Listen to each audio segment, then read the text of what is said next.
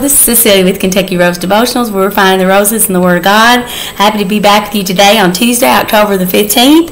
Um, we're going to talk about spiritual war today. So if you feel like you're in war, with if you're not at war, then you're not on God's side. because if you're serving the Lord, you you've got a war on your hands. Because as you serve God, as you live for Him, the the arrows are going to fly from left and right. So if everything's going great in your life, you might want to question uh, for a moment where what side you're on. But 2 Corinthians 10 tells us about spiritual war and and how to fight. And so I, I, we're just going to get right into it today. Verse 1 it says, Now I, Paul, myself, am pleading with you by meekness and gentleness of Christ, who in presence I am lowly among you, but being absent and bold towards you. So um, he's telling them, although I may be away from you right now, I am in boldness in prayer for you. He says, I beg you that when I am present, I may not be bold with that confidence by which I intend to be bold against some who think of us as we walked according to the flesh. He doesn't want us to walk according to the flesh. We, we never should want to do what our flesh wants to do because our flesh will lead us wrong. But he says, For we walk in the flesh. If we do, we do not war according to the flesh. For our weapons, we can't fight in this physical body. If we could, I'd pull out a machine gun and take it to the devil. But I can't. I, that's not how how it works. Um, we we take it to him by our spiritual warfare, our spiritual armor, our shield of faith, our sword of the Spirit, our helmet of salvation, our breastplate of righteousness, our belt of truth, our shoes of peace.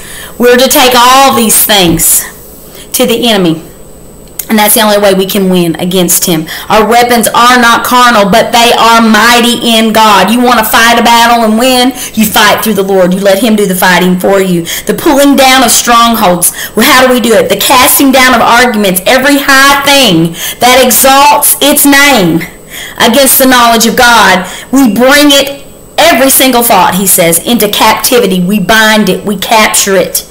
By what? Obedience obedience to Christ, and being ready to punish all disobedience when your obedience is fulfilled. We don't allow our body to be disobedient, but we stay in the spirit, fighting in the spirit, warring in the spirit, and align our flesh with our spirit so that we are obedient and we fulfill the call of God. We are never going to fulfill the call of God if we are in disobedience to the Lord. If we're going against any part of His Word, any part of it, then we're in disobedience to Him.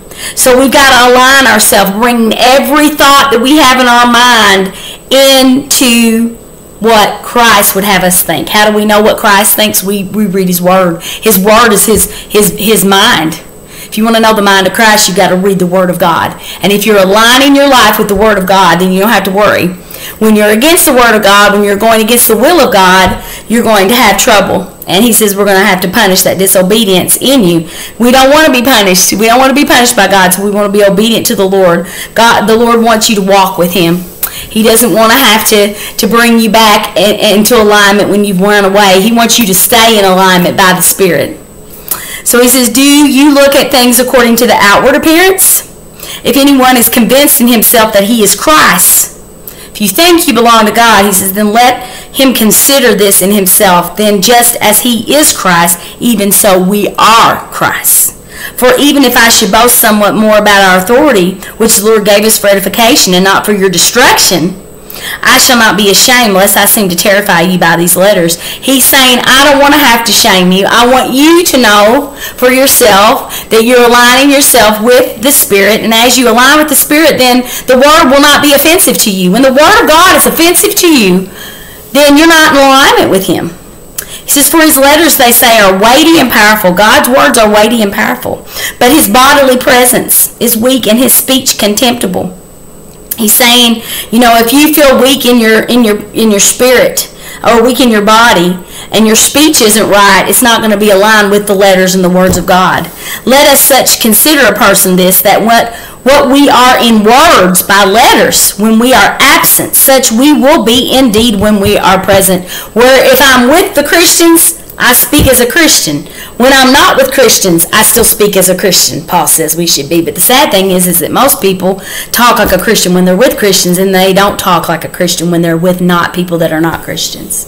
So indeed, he says we we've got to be consistent, present with Christ at all times following him, being obedient to him. He says, "For we dare not class ourselves or compare ourselves with those who commend themselves. We don't we don't puff ourselves up." He says, "By measuring themselves by themselves or comparing themselves among themselves that are are not wise. However, he says, we will boast beyond measure, but within the limits of the sphere which God appointed us, a sphere which especially includes you.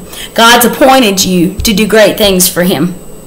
He says, But we are not overextending ourselves as though our authority did not extend to you, for it was to you that we came with the gospel of Christ. That's the reason why any of us should come to talk to anyone is, is to have that gospel in us ready in season and out of season. He says, Not boasting of things beyond measure, that is in other men's labors, but we have hope. We don't look at what other men and women are doing, but we do what we do for God. That our faith is increased. He says, We shall be greatly enlarged by you in our sphere. What we do for God will, will grow other people. If we're doing the right things, we're going to see growth in all those around us. If people are doing the wrong things, you're going to see immaturity. And the people that you're with that are immature are going to drag you into immaturity and make you talk the way they talk. So we need to be talking Jesus. We need to be talking about our Jesus. Praise the Lord. That's the best talk to talk. Uh, and so that we're growing people around us, not making them immature, but growing them in the Lord. Um, so important. So, so important that we read the Word and grow in it. Um, not to boast, he says, in another man's sphere of accomplishment. What other men do is what other men do. We do what we do for the Lord. And, and we, we do it to glorify Him. We don't do it for any other reason. He says, but he who glorifies, let him glorify to the Lord. Don't glorify yourself. Glorify God. For not he who commends himself is approved, but whom the Lord commends is approved. So if God has approved you, what man can disapprove you? But if God's condemned you, what man can approve you? God is, is in complete control of what we do, and He wants to be glorified. He wants to be number one. He doesn't want to be your number two. He wants to be your number one today. He wants to be glorified in you so that He can commend you to do great and mighty works for Him, to recommend you to do wonderful things for Him.